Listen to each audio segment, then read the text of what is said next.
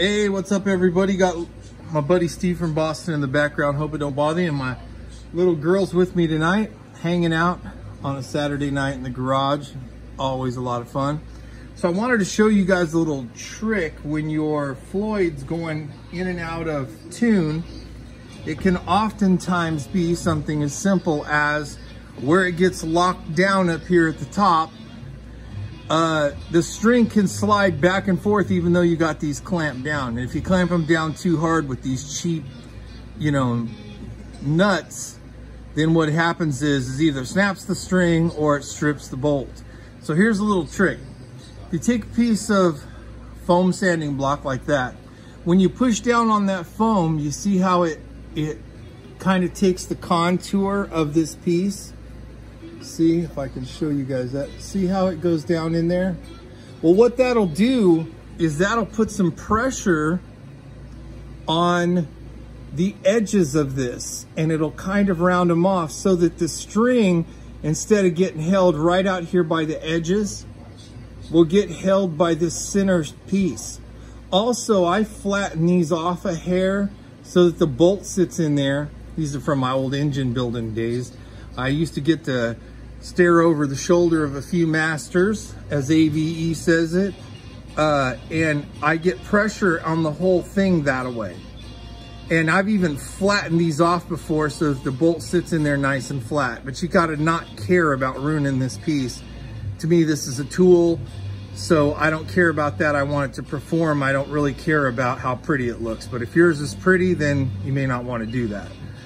But so what I do is by pushing it down on that sanding block like that, it, it will push into there and it will radius those corners so that the when the string goes through here like that, it doesn't just sit here, out here on this edge or this edge, okay?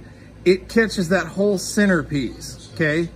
Well, I did that on this one and I still have a problem. You can actually see where these are coated. This is probably a zinc and copper coating. Um, truthfully, I don't know what that is, but that's what it looks like to me. And you can see, hopefully in that light, let me see if I can get the light just right. Maybe I can move this other light I have. There it is. You can see right here on this edge where the zinc and copper coating stops from me radiusing these edges so that when the pressure is here, it catches the string from here to here. I hope that makes sense from there to there. And then what you do is once you've got this semi-flat, because these were really bad, they were raised on the ends like this. Like if you looked at the ends, these were raised here on the ends. So by flattening these off and then putting some scratch marks in here when you're all done, it'll lock that string in place. Now there's a big argument about that being a problem because what'll happen there is people say, well, it gives it micro abrasions. Well, if it's going out of tune, you got a bigger problem than micro abrasions, especially if you change your strings as often as I do. But this is a quick fix to these and a good fix for a, a not so high-end Floyd. Um, but if you, like I say, just radius off these corners and then put some abrasions across where they're gonna lay the string across there like that, what it'll do is it'll lock that string from there to there, right in the center, over top of where the bolt is, and it'll lock that string in place. So I hope that helps you guys.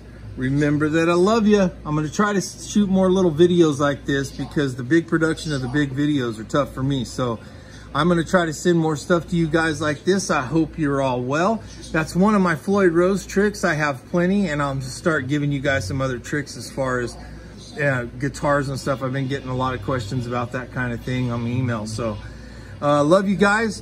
Don't forget to go help somebody. Go help somebody. Do something nice for somebody. Hey, remember, I'm you rock. And if you help somebody, you rock. Say goodnight, babe. Good That's right. You're awesome, kid. All right, guys. Peace out. I'll see you soon.